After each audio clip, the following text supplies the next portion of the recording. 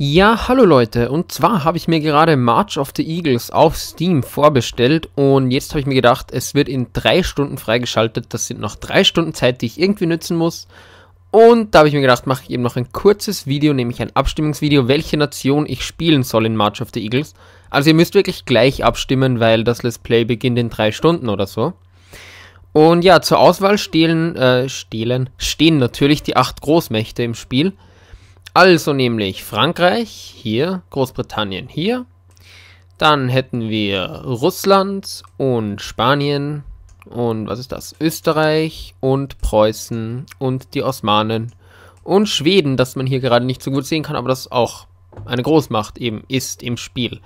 Also bitte einfach unter diesem Video wie immer abstimmen, welche dieser acht Nationen ich spielen soll.